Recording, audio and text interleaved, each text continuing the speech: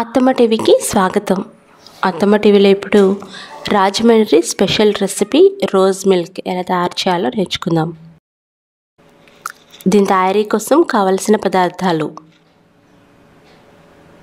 Rose syrup రెండు table స్పూన్లు super మార్కెట్లో దొరుకుతుంది.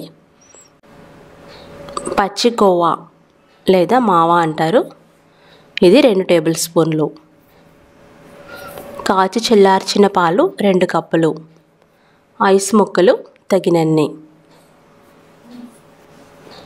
పంచదార రెండు టేబుల్ స్పూన్లు.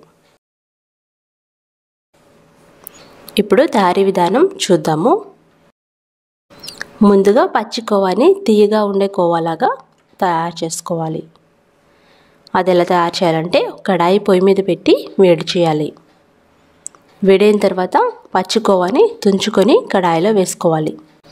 తర్వాత అందులో పాలు పోయాలి. తర్వాత పంచదార వేయాలి.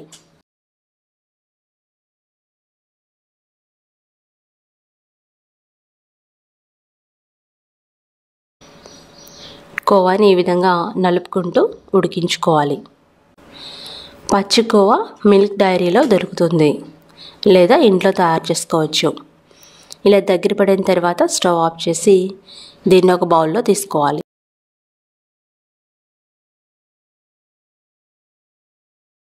రోజ్ సిరప్ రెడీగా ఉంది. అలాగే తీగా ఉన్న కోవా రెడీగా ఉంది.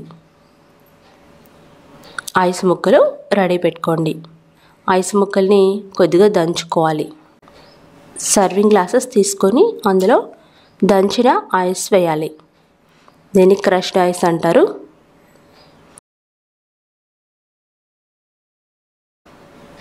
తర్వాత తీయగా ఉన్న కోవా వేయాలి. ఆ తర్వాత రోజ్ సిరప్ వేయండి.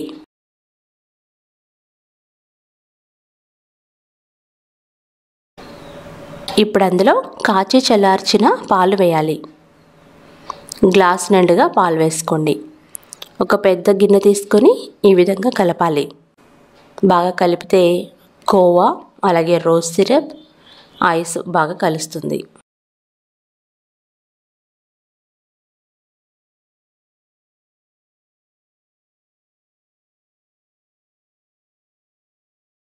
పైన కొద్దిగా రోజ్ సిరప్ వేసుకొని గార్నిష్ చేసుకోండి.